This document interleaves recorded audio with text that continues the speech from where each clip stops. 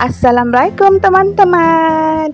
Ini adalah video saya pagi ini Dan ini saya rekod pagi ini mamis. Oke okay, apa kabar semuanya? Oke okay, cuaca pagi ini sangat cantik dan cerah ya mamis Untuk kita menjemur pakaian di sini mamis. Oke okay, ini saya letak posisi video ini uh, telepon ini di depan pintu rumah ya mamis ya. Saya mau tengok macam mana rupanya nanti cantik kah tidak. Oke. Okay. Oke okay, mamis boleh nampak di langitnya yang cerah itu mamis syukur alhamdulillah. Karena tadi malam suami saya udah cuci kain pakai mesin ya mamis ya bukan pakai tangan. Oke okay. apa situ pagi ini saya cuci mamis ya di situ saya uh, ada penampakan bapak mertua saya limpas. Uh, nanti sama mama mertua saya sebab mereka mau pergi ke Ranggu. Uh, mau pergi tempat rumah baru mereka yang tengah dibuat sekarang ini mamis ya. Doakan semuanya lancar di sana ya mamis ya. Semoga rumahnya cepat dibangunkan. Amin. Nah itu lagi mama mertua saya limpas Syukurlah Alhamdulillah sebab cuaca bagus ya, tidak hujan, jadi mereka boleh jalan ya mamis ya. Oke, di sini lanjut. Saya mau tutup pagar sana dulu. Ha. Baru saya ambil view di bahagian sini, mamis macam cantik pula saya nampak ya. Dia nampak langit, nampak lagi pokok-pokoknya situ, ha, nampak lagi bungaku. Oke, mamis ya, lanjut kita menjemur kain.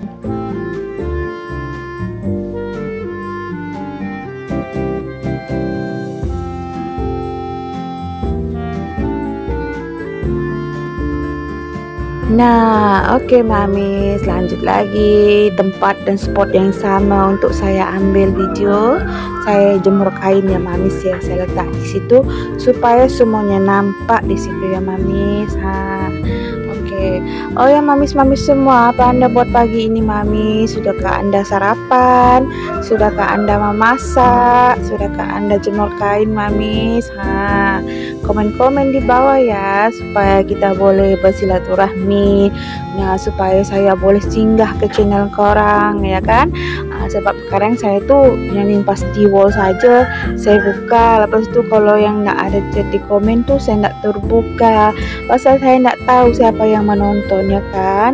Kalau ada saya yang saya tahu siapa menonton itu uh, saya akan singgah ke channelnya. Kalau saya belum subscribe saya akan subscribe ya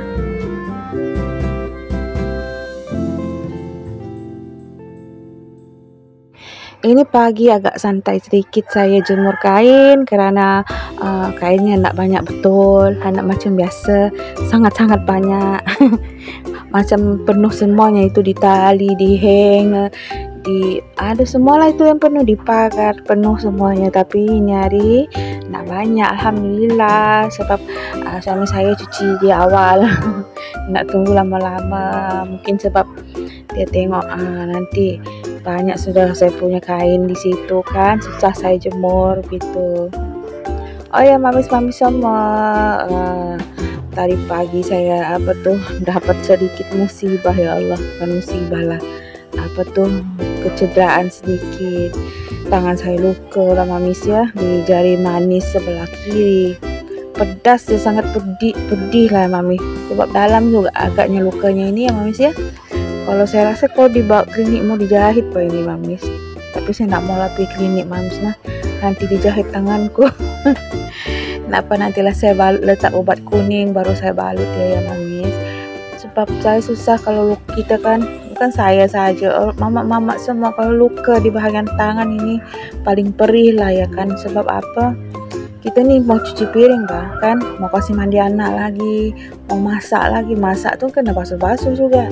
Ah tuh baru tangan saya tadi saya cuci sekejap tangan saya saya terai. Ya Allah pedas pedihnya. Tuhan saya tahu nak tahu lah bakal gagal rasa tanganku.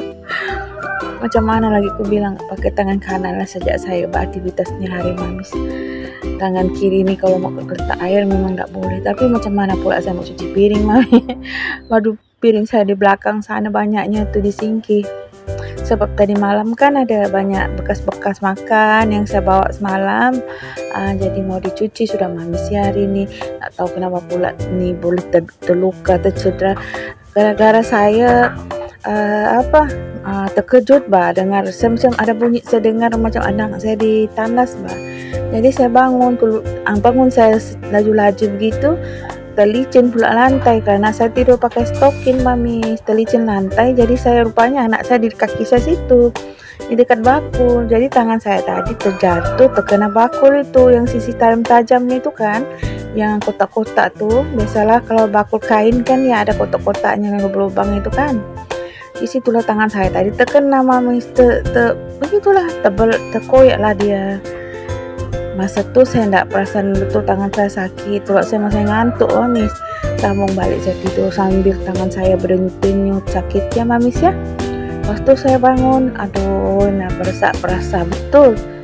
Aduh saya cakap mana saya mana lah mama boleh begini? Tengah tidur kan terkejut bah mamis selalu anak saya main air di tandas kan. Jadi saya teringat-teringat bah begitu. Nah sekalinya terjatuh pula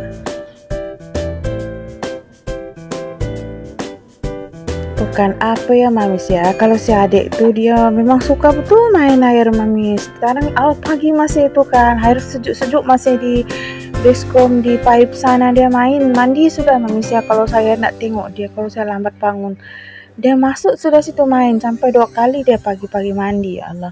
Saya takut apa mami? Saya takut dia nanti dia demam kena sel semua lagi ya kan? Kalau si adik itu dia memang alhamdulillah syukurlah. Dia itu jenis yang jarang sakit mamis ya tapi kalau dia sudah sakit mamis nah satu minggu tuh satu minggu lebih tuh baru dia sembuh begitu.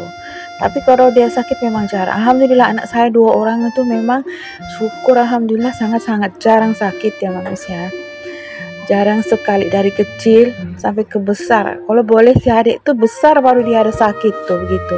So ada demam-demam ada apa semua tuh kan masa kecil jarang sangat jarang. Nah kalau si abang itu pernah beberapa kali mungkin dalam dia dari umur berapa tahun sampai dua, dua tahun dia tak eh tidak sampai setahun ada satu kali dia demam panas.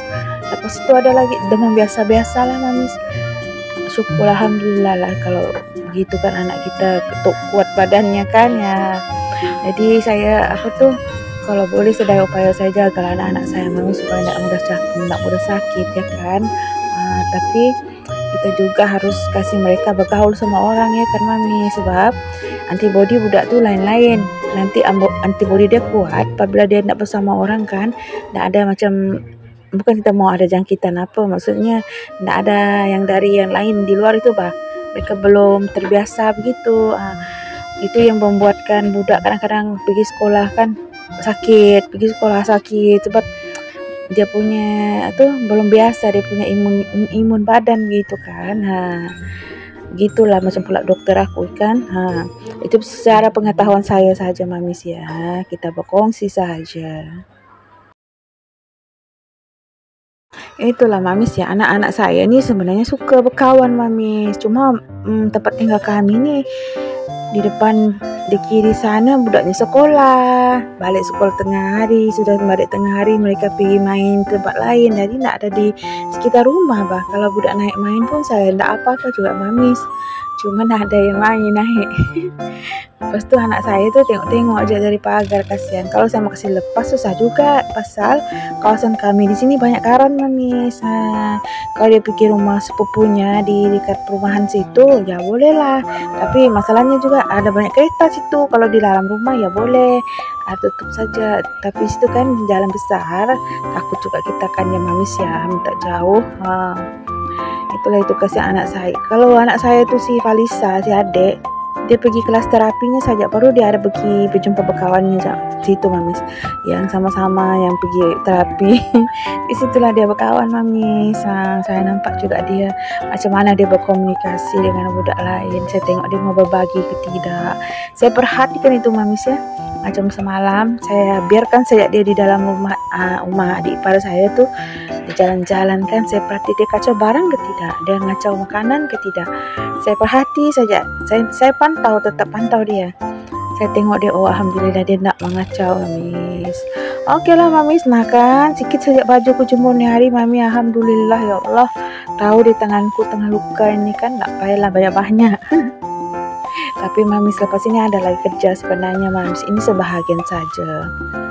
Ya ini lanjut saya mau sapu-sapu di ruang tamu mamis ya ini saya pungut-pungut dulu kertas nanti tengoklah itu si abang. Dia marah pasal itu tali dia pikat di leher patungnya itu kan. Tidak tahu apa yang tidak puas hatinya. Lucu banget saya nih yang satu tuh lagi si adik tuh entah bila dia buka suaranya dia mau mandi sudah tuh mamis dia tapi tunggu saya.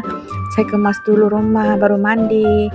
Itu pempes pun dia pakai tidur malam sejak mamis ya. Kalau siang nggak pakai pempes tuh mamis. Nah, itulah anak-anak saya. Kalau apa kalau kita bilang tepilah mama menyapu itulah tepinya itu sedikit saja dia pergi minggir dirinya itu. Nah kan biasalah budak-budak mau dimarah pun macam mana ya kan mamis siapa yang samaan di sini ini saya punya tikar mamis sebenarnya banyak yang sobek-sobek itu ya mamis ya. Di bagian depan sini yang di bawah meja itu banyak yang sobek. Nggak tahu apa yang bikin sobeknya. Nah, ini tikar dalam dalam dua tahun begitu ya mamis ya.